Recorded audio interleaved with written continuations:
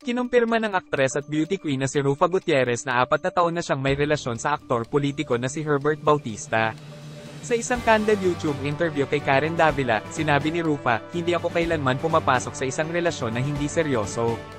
Kasama ni Rufa na 49 years old ang kanyang mga anak na sina Lorraine at Benny sa interview. Parehong nagpahayag ng pagsang-ayon ng dalawang anak na babae kay Bautista na inilarawan siya bilang isang really nice guy na mahusay na tinatrato ang kanilang ina. Medyo private na ang relasyon ni Rufa at Herbert pero nagkita sila sa set ng romantic comedy series na House Arrest of Us noong 2020. Sa kanilang first date, siniguro ni Herbert na isama ang mga anak ni Rufa na lalong nagpatibay sa kanilang koneksyon.